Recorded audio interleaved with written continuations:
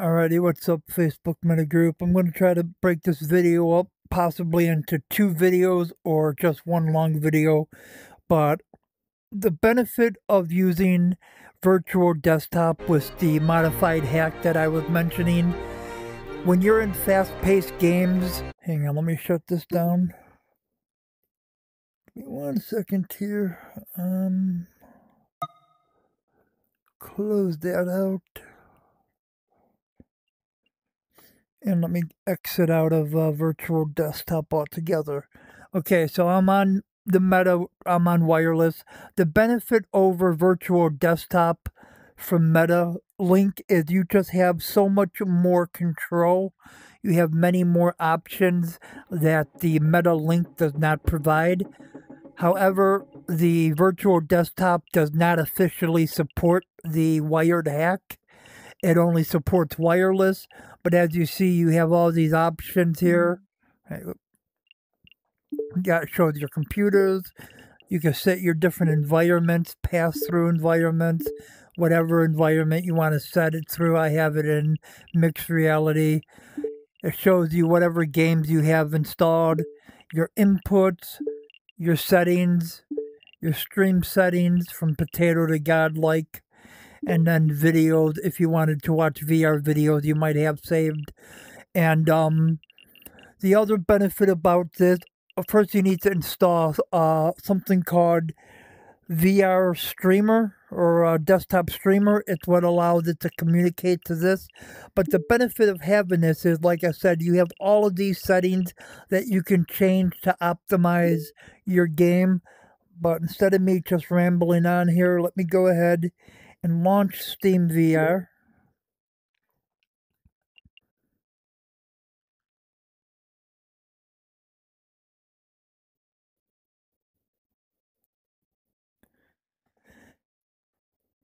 Hang on, this is not the screen I want.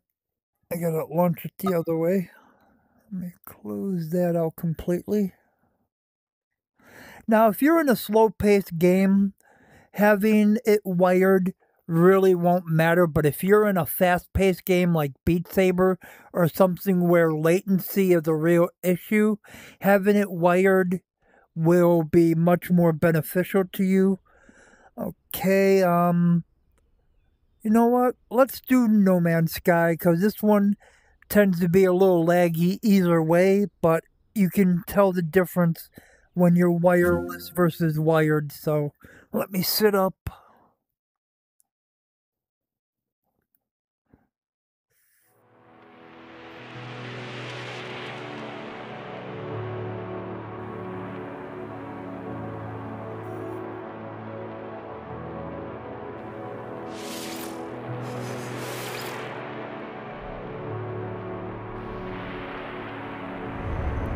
And right now, sitting up, I want to say I'm about an arm and a half lengths away from the modem.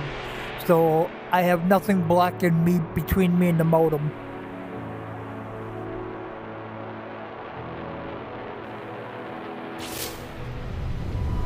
Okay, so uh,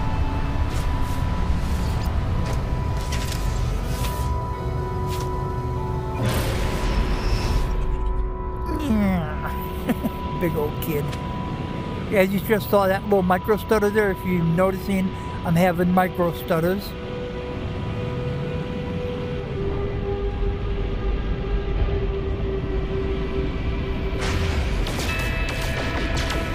Now I'm not having any stutters. What, right there, right there? Okay, so you saw the micro stutters. I'm going to go ahead and hop out of this now. Let me exit the game we are going to close out of our VR here.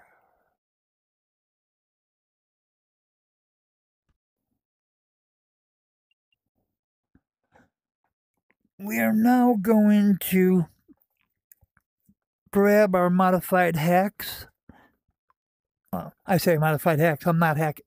I shouldn't say that. Probably sound like I'm hacking a game. Take your uh, Ethernet cable plug one end of your Ethernet cable into here, just like so. Now I have to actually take my uh, headphone off. Well, maybe I don't. Um, you take the uh, power.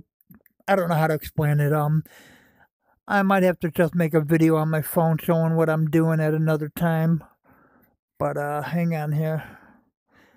Don't want to take my headphone off because I think it'll cause the video to stop. So I got that plugged in there. One second, I'm trying to feel around doing this blend.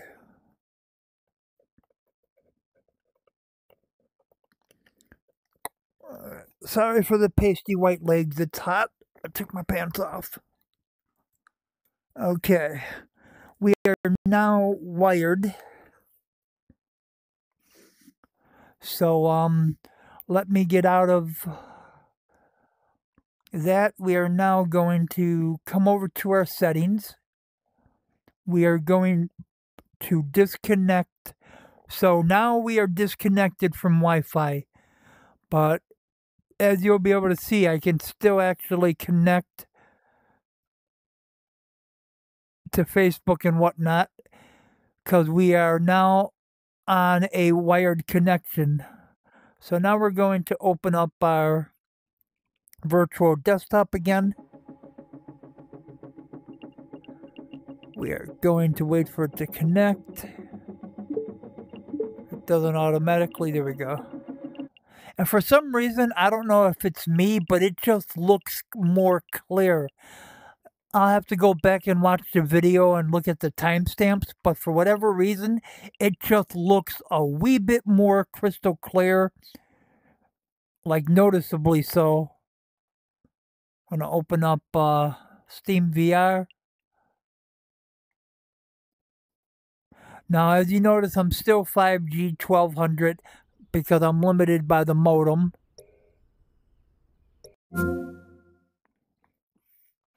But you should see the latency shouldn't be as erratic. The FPS may still bounce up and down because this game is kind of not optimized as well for VR. But I'm already showing lower uh, latency than I did before.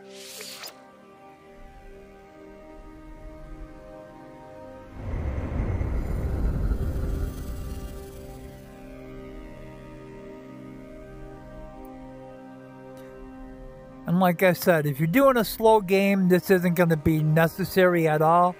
But if you're doing a real fast-paced game, you might actually enjoy having the really quick response times.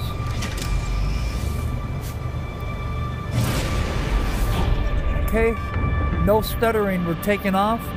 We stuttered like a half dozen times at this point.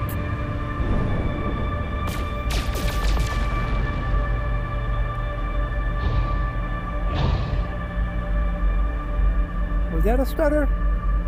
Let me open this. Not sure if that was a stutter or me slamming on the brakes. But let's try to uh, get up into space.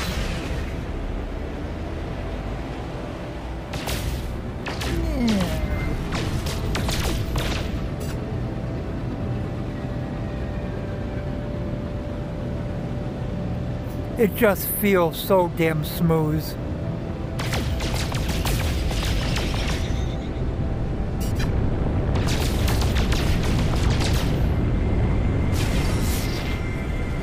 Yeah, I can't fly with these controllers. I'm still trying to figure out how to fly with the uh, meta controllers. So don't judge me.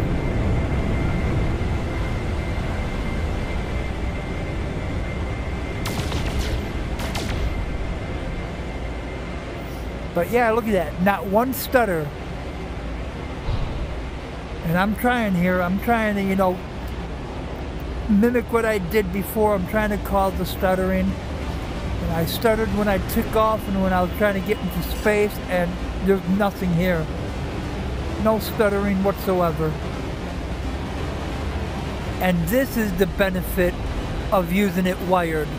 But like I said, if you're going to be using a game where, oh, that might have been a stutter right there. I think I had one, maybe two stutters versus the uh, 7 or 8.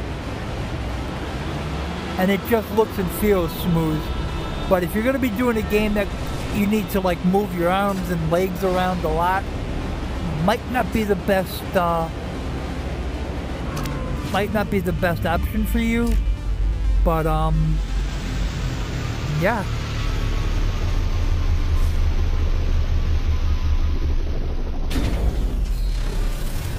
Alrighty, and this is No Man's Sky on the Quest 3 Wired. Okay, that right there is a freeze. I don't know what just happened there. Waiting.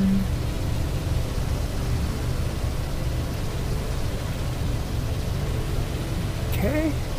I don't believe that's the connection. I believe that's the game just taking a dump. Not exactly sure what's happening with that.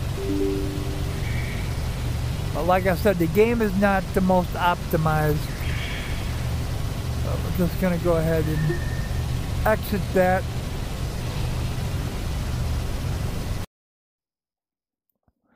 And I guess since I'm wasting everybody's time, I will fire up one more game just to show you. Um... Let me exit this here and go to library.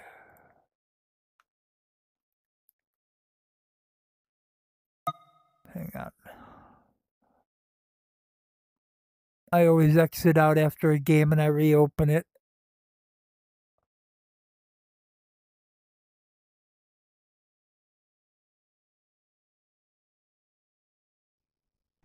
Alrighty, um, I believe Star Wars, I need to uh, open that up before I uh, do any VR. I haven't done that one yet.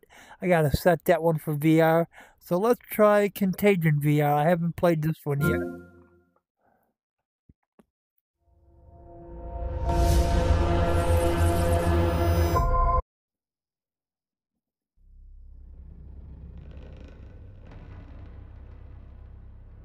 Welcome to the Contagion VR tutorial. In this tutorial, we'll introduce you to core gameplay mechanics. Let's get started by going over how to move in the world. By default, Contagion Outbreak has you navigate the world at large with the touchpad on the left hand. You move by pushing your thumb in the direction you wish to go, relative to your left hand's orientation. Move to the three markers using the movement controls.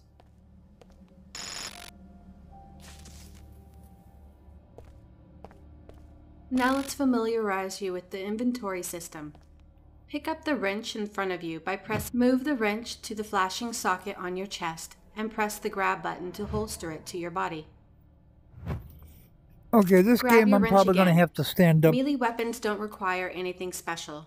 Just swing and connect. The faster you... Good. Now let's get you familiar with the backpack. Reach over your shoulder and grab your backpack by pressing and holding the grab button. Then place the backpack in front of you and release the... Your backpack has enough space to store up to four items of your choosing. To put something inside the backpack, simply place the item inside one of the four boxes, and when the box highlights green, you can release the item in place. A red flashing color means that the item cannot be stored in the backpack. Place the wrench in your backpack. Okay, was I not listening? How do I...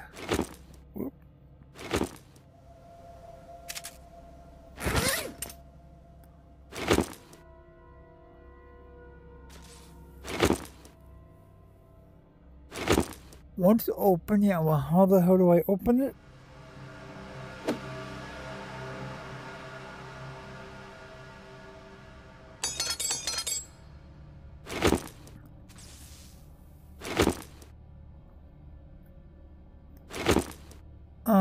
I'm not going to waste too much time on this.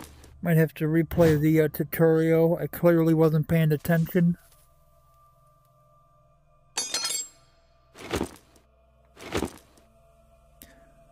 Probably shouldn't be sitting down playing this game.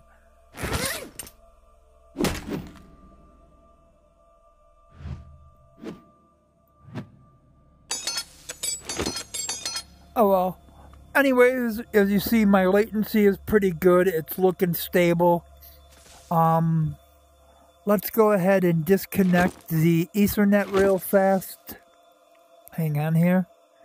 We're gonna unplug this from the side of my head. As you see, uh, Wi-Fi lost. Hang on here, let me finish disconnecting this.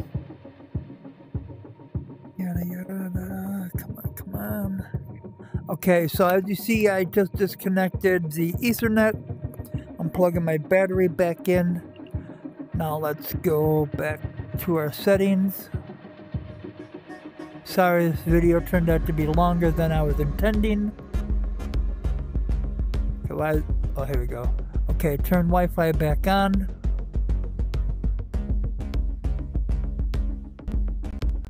A little bit stuttery there.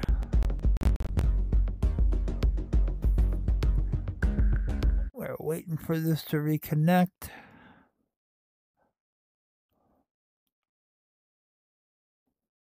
Resume.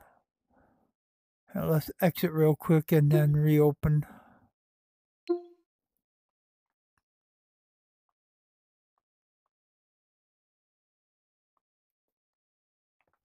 Okay.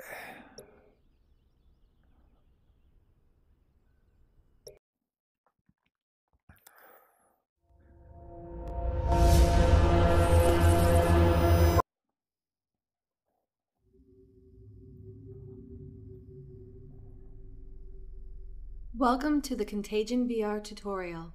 In this tutorial, we'll introduce you to core gameplay mechanics. Let's get started by going over how to move in the world.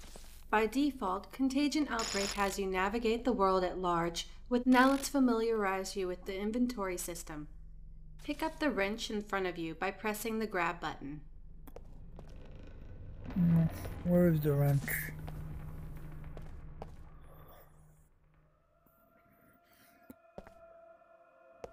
Where the hell is the wrench at, lady?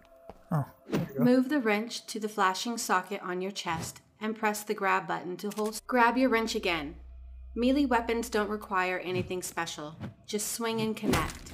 The faster you swing, the good. Now let's get you familiar with the backpack. Reach over your shoulder and grab your backpack by pressing and holding the grab button. Then place the backpack in front of you and your backpack has enough space to store up to four items of your choosing. When you're ready to put your backpack away, grab the handle. There is no automatic health regeneration and contagion.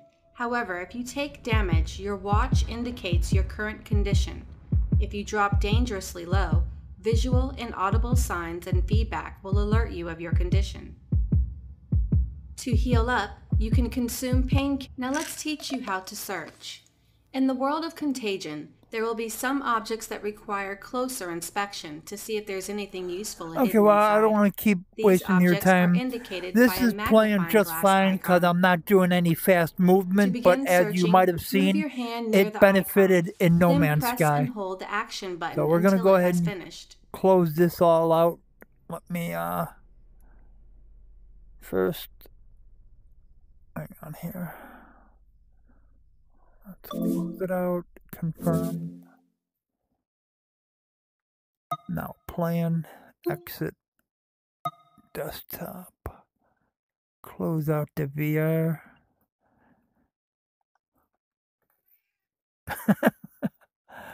okay, so um, we're closing out uh, the desktop there.